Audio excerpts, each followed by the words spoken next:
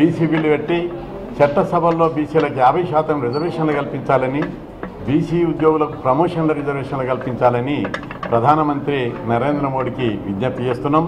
ఎందుకంటే స్వతంత్రం వచ్చి డెబ్బై ఏళ్ళైనా ఈ దేశంలో బీసీలను బిచ్చగాలం చేశారు.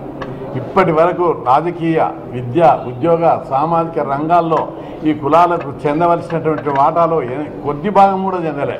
పేరుకి ప్రజాస్వామ్యం కానీ ధనస్వామ్యంగా ఇది మెరుగుతున్నది అందుకే ఈ నెల ఇరవై ఒకటిన హైదరాబాద్లో బీసీల ప్రతినిధుల యొక్క సభ పెద్ద ఎత్తున హైదరాబాద్లోని సుందర మన ఆర్టీసీ కళ్యాణ మంటపంలో భారీ ఎత్తున జరుగుతుంది. ఈ సభకు కేంద్ర మంత్రులు వెంకయ్యనాయుడు గారు బండారు దత్తాత్రేయ గారు అదేవిధంగా స్పీకర్ చారి గారు అదేవిధంగా ఈటల రాజేందర్ గారిని ఆహ్వానించడం జరిగింది. అదేవిధంగా బీసీ మంత్రి జోగు రామన్నను కూడా ఆహ్వానించడం జరిగింది. అన్ని పార్టీలలో ఉన్న బీసీ నాయకులను కూడా ముఖ్య నాయకులందరినీ కూడా ఈ సమావేశానికి ఆహ్వానించడం జరిగింది. ఎందుకంటే అన్ని పార్టీలకు అతీతంగా రాజకీయాలకు అతీతంగా బీసీ నాయకులందరూ పోరాడవలసినటువంటి సమయం ఆసన్నమైంది. డెబ్బై ఏళ్ళ స్వతంత్రం లోపల ఈనాటికి కూడా రాజకీయ రంగంలో బీసీలకు ఏమాత్రము ప్రాతినిధ్యం లేని పరిస్థితి ఏర్పడ్డది ఈ దేశంలో.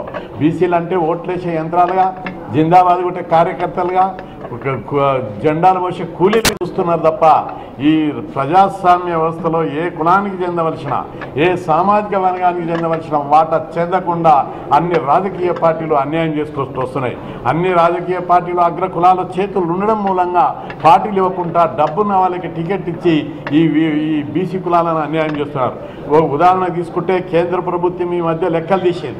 రాజకీయ రంగంలో బీసీల ప్రాతినిధ్యం లెక్కలు తీస్తే స్వతంత్రం వచ్చినప్పటి నుంచి ఇప్పటి వరకు లెక్కలు తీస్తే కేవలము పన్నెండు శాతం మాత్రమే ప్రాతినిధ్యం లభించింది.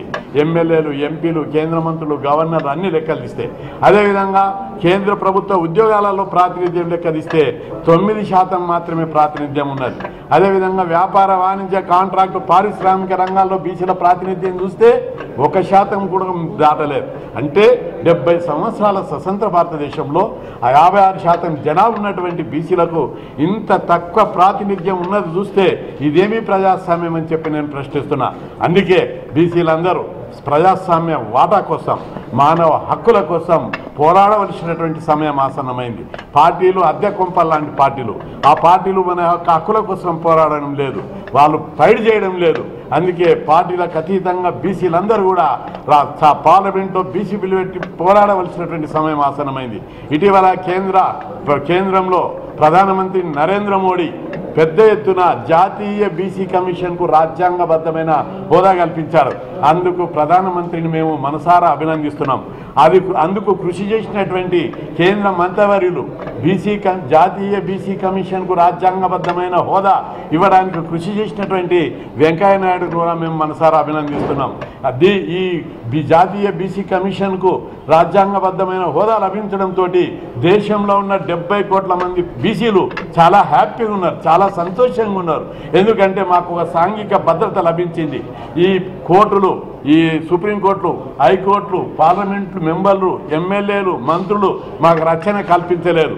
జాతీయ బీసీ కమిషన్కు ఈరోజు బీసీల మీద ఏ చూపితే జాతీయ బీసీ కమిషన్ కాంప్లైంట్ ఇస్తారు. రిజర్వేషన్లు అమలు చేయకపోతే జాతీయ బీసీ కమిషన్కు కాంప్లైంట్ ఇస్తారు. బీసీల ఆ స్కీమ్లో అక్రమాలు జరిగితే జాతీయ బీసీ కమిషన్కు కంప్లైంట్ ఇస్తారు. దీంతో బీసీల జీవితానికి ఆ ఆకలి లేనటువంటి ఆకలితో అలమటించేటటువంటి నోరు లేనటువంటి పీ దోపిడి పీడన వివచ్చత కింద నలిగిపోతున్నటువంటి కోట్లాది మంది డెబ్బై కోట్ల మందికి ఆ జాతీయ బీసీ కమిషన్ ఒక రచన కవచంలో నిలబడుతుంది.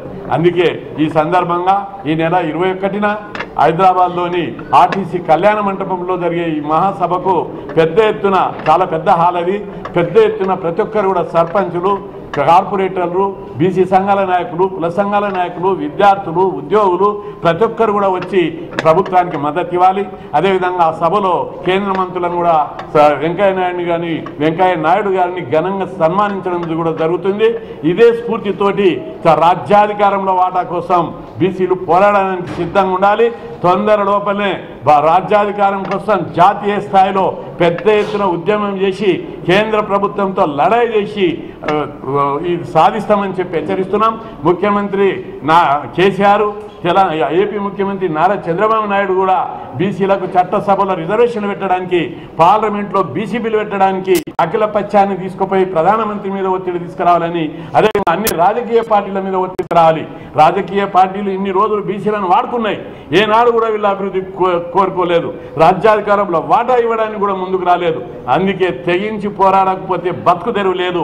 బీసీల పోరాటం ఆకలి పోరాటం కాదు ఆత్మ గౌరవ పోరాటంగా ప్రతి ఒక్క బీసీ కదిలి రావాలని చెప్పి నేను విజ్ఞప్తి చేస్తున్నా.